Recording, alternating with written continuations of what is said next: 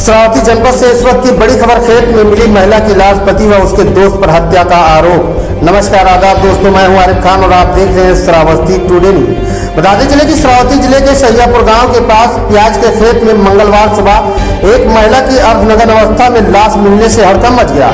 सूचना पर पहुँची भिंडगा कोतवाली पुलिस ने लाश को कब्जे में लेकर पोस्टमार्टम के लिए भिंडगा भेज दिया है। मामले में मृतक के भाई ने पति व उसके दोस्त पर हत्या का आरोप लगाया है। वहीं पुलिस ने मामला दर्ज कर जाँच शुरू कर दिया है।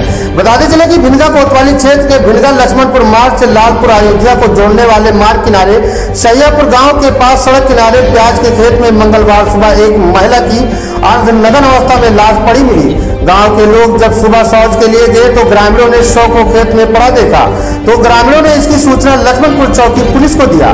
घटना की सूचना के बाद मौके पर ग्रामीणों की भारी भीड़ जमा हो गई। स्थानीय लोगों की सूचना पर लक्ष्मणपुर चौकी प्रभारी योगेश कुमार सिंह व सीओ अतुल कुमार चौबे व प्रभारी निरीक्षक गुंडा दल बल के साथ मौके पर पहुँच गए।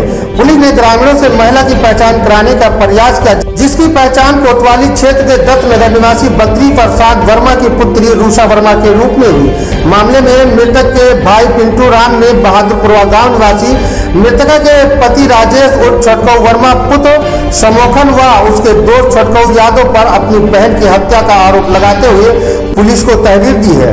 पुलिस ने दोनों के खिलाफ हत्या का मामला दर्ज कर लाश को पोस्टमार्टम के लिए भिंगा भेज दिया है। इस बारे में प्रभारी निरीक्षक भिंगा मेहमान उपाध्याय का कहना है कि हत्या का मामला दर्ज कर जाँच की जा रही है। जल्द ही आरोपियों को गिरफ़्तार कर जेल भेज दिया जाएगा।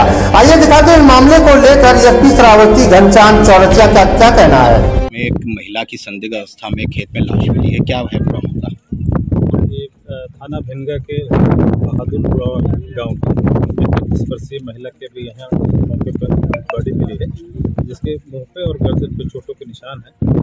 आरोप लगाया गया है उसके भाई के द्वारा कि इसके पति ने जो राजेश कुमार नाम का है और उसका एक दोस्त है, दोनों ने मिल करके इसकी हत्या की है। जो तो पहले ही इसको परेशान किया करते थे और आज रात को इस अवस्था में यहाँ डेड बॉडी मिली है।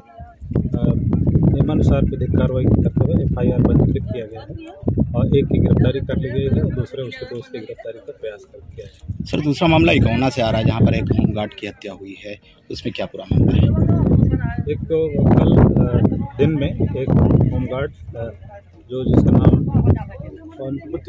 बुद्धि प्रकाश शुक्ला है वो कल ड्यूटी के बाद अपने घर गए थे और उसके बाद मालूम चला है कि शराब पी करके वो वहाँ बस स्टैंड के पास किसी के साथ हाथापाई हो रही थी। उस हाथापाई के दौरान एक जो है, रजत शुक्ला नाम का लड़का, वो वहाँ उसका पड़ोसी है, उसके आपस में दोनों शराब पीते थे अक्सर वो अपनी बाइक पे बिठा के ले गया और रात में उसके लगभग शाम को सात बजे करीब उसके साथ मारपीट की और उसको ईंट से पत्थर मार करके उसे सर में चोट पहुंचाई, जिससे उसकी मौके पर डेथ हो गई है। और उसमें भी मुलजिम की गिरफ्तारी कर ली गई है नियमानुसार कार्रवाई की जाएगी। थैंक यू हमसे जुड़े रहने के लिए हमारे YouTube चैनल को सब्सक्राइब करें और बेल आइकन को दबाएँ। और आप ये वीडियो अगर Facebook पर देख रहे हैं तो लाइक ज़रूर करें और ज़्यादा से ज़्यादा शेयर करें। धन्यवाद।